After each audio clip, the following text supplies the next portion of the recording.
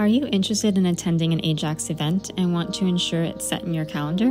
You can add an event of your choice to your own calendar by following these steps. On a computer or mobile device, visit ajax.ca/events to view a list of all of our current and upcoming events. Once you find the event that you'd like to attend, select the title of the event. Once you're on the page of the event that you picked, select Add to My Calendar.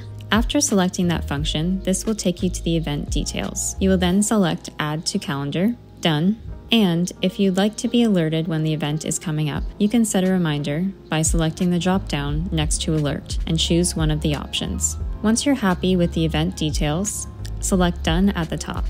To check that it has been added to your calendar, visit the Calendar app on your device and go to the date of the event that you picked. This is a great way to stay organized and another way to get reminders of upcoming events that you want to attend. Still have questions? Email us at corporate at ajax.ca. You can also stay up to date on all upcoming events on our social media accounts and continuing to visit ajax.ca slash events.